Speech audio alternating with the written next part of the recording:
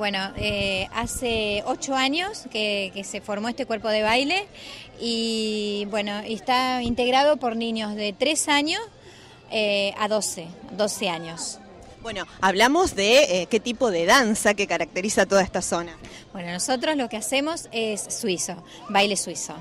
Eh, ¿Se pueden seguir incorporando al grupo de baile chicos de otras localidades? Por ejemplo, ¿ustedes lo permiten en el transcurso del año? Sí, sí, te digo más, eh, tenemos chicos de, de San Carlos Sur, que están bailando con nosotros y sí, el, eh, cualquier chico que le guste y que tenga ganas eh, lo puede hacer, eh, porque siempre las edades van, van cambiando, cuando los chicos ya son más grandecitos, dejan y bueno, es el momento por ahí también para que se va renovando el cuerpo de baile. Bueno, convengamos que esto tiene que ver con una raíz que es muy fuerte en esta zona por la descendencia, por el origen de, de, sus habitantes, ¿no? Y ustedes siguen llevando la bandera para que siga, digamos, eh, esta raíz reviviendo entre nosotros? Y sí, es como decir, ellos son como la semilla, ellos van a ser los que, los, ellos son los, como los embajadores de la cultura nuestra, esta cultura que, bueno, tratamos siempre de llevarlo a, diferentes lugares, ¿no es cierto?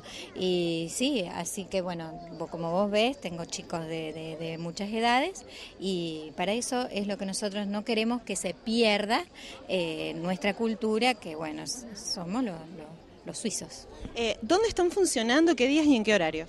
Bueno, nosotros en la Asociación Suiza, eh, ahí de San Jerónimo Norte, los días miércoles a las 18 y 30 y los días sábado a las 10 y 30 de la mañana.